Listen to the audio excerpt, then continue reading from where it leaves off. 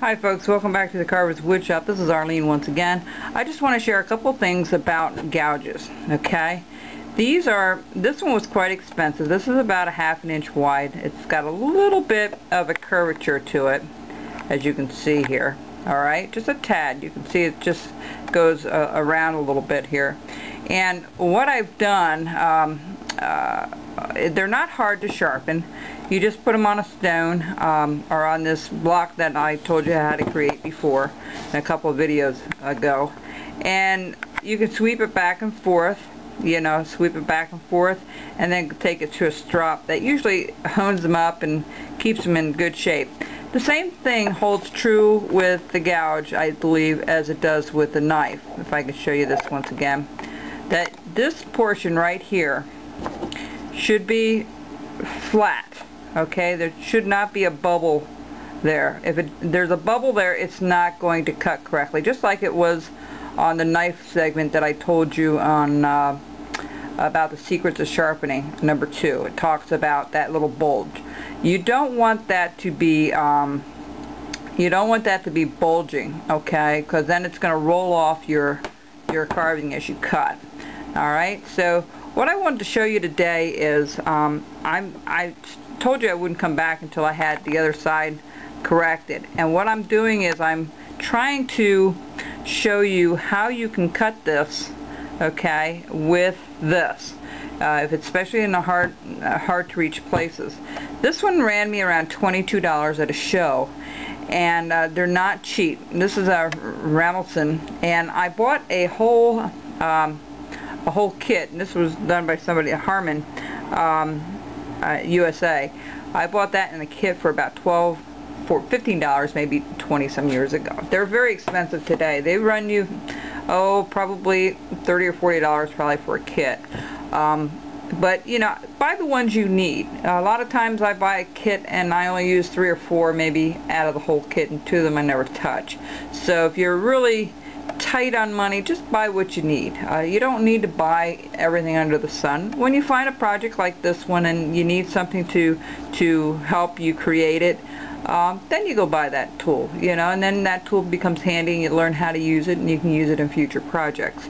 Okay, it is important to wear your glove when you're doing this project because of the the odd way, it's, especially if you're slicing it with a knife. Um, Sometimes I put that on, 90% of the time I don't because I'm not comfortable with it. I'm comfortable without it, but I've been at it much longer. I've been at it for 28 years. Uh, and plus teaching, it's much easier for me to show you without the glove. So what I'm going to show you here right now is what we'll do is we're going to pre-cut this, just like we talked about on, on the first video, okay? We're going to pre-cut this.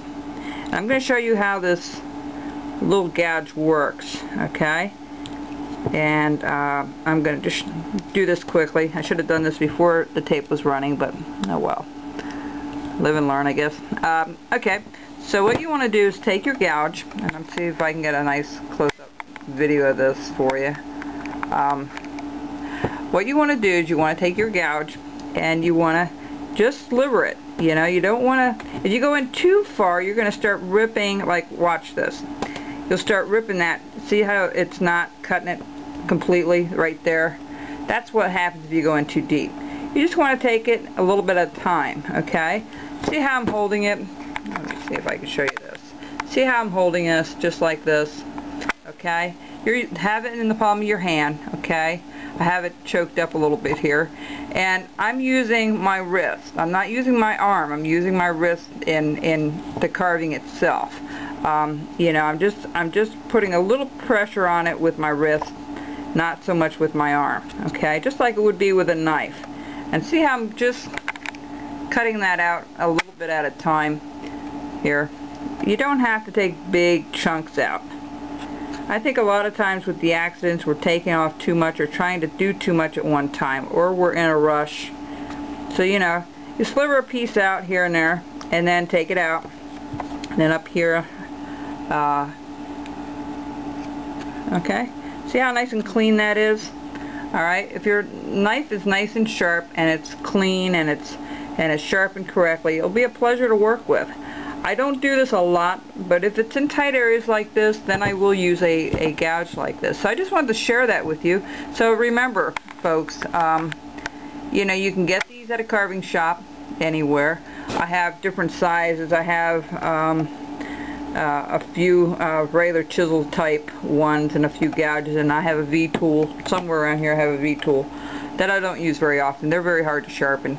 Um, and I wouldn't recommend that for the beginner unless you're really um, looking forward to doing something like that. So this is apparently this is a number three. So um, of the uh, Ramelson. So if you're interested in purchasing one of that, one of the supply houses I'm sure can get one for you. I just find it's a little handier because of the sweep that's in here. It's not completely flat. Uh, it looks flat, but it's not. It's got a little bit of a curvature to it, you know. Um, you can probably not see that as well as I can. You can see it there, okay? And, um, and they come in handy.